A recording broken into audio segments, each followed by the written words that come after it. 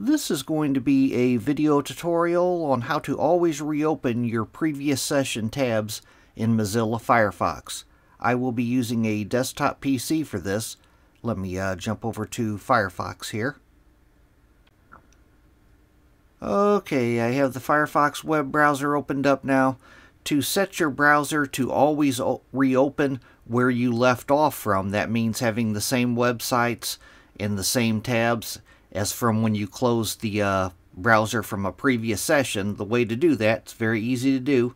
First thing you want to do is go up to the upper right hand corner to the three bar hamburger menu. You want to click on that. Then you want to go down to where it says settings and click on settings. Now in the pane off to the left hand side you want to make sure you're under the general tab. And then right up top here it says startup. As you can see I have my browser already set to reopen where I left off from. You want to make sure that this is checked. Open previous windows and tabs. When you start up it will open your previous windows and tabs. Make sure that that is checked.